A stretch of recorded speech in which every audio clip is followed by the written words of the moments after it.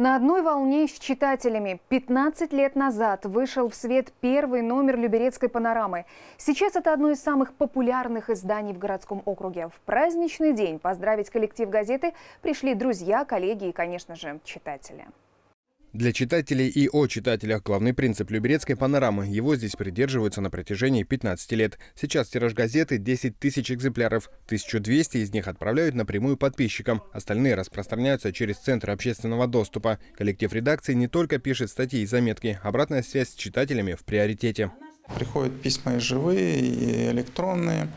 Плюс э, в газете, а, в самой газете, на сайтах у нас обратная связь и в социальных сетях особенно. То есть выходит пост, сразу идет комментарий, вопрос, там негатив, и идет обратная связь вот здесь, здесь и сейчас, то есть моментально.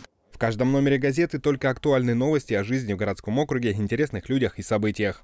Газета выполняет свое предназначение, она уважаема, и несмотря на приход новых технологий, именно печатные СМИ, э, они сохраняют своего читателя, свою аудиторию.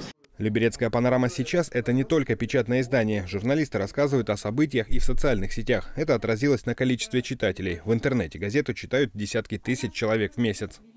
Э, я не помню, когда я брал, я уж приношу извинения, газету в руки, хотя я должен ее брать.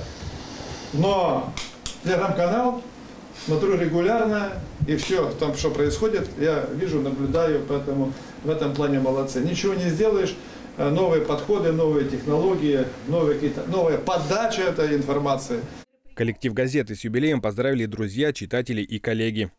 А газета, радио, телевидение – это на самом деле в нашем округе одна большая семья. Потому что мы друг друга всегда поддержим, мы друг друга где-то выручаем, мы с вами э, рука об руку работаем в нашем замечательном округе, э, делаем нашу жизнь лучше. Впереди у коллектива Люберецкой панорамы много задач, но самое главное – объективно и оперативно рассказывать о жизни в городском округе Люберцы. Григорий Ворванин, Денис Заугольников, телеканал ЛРТ.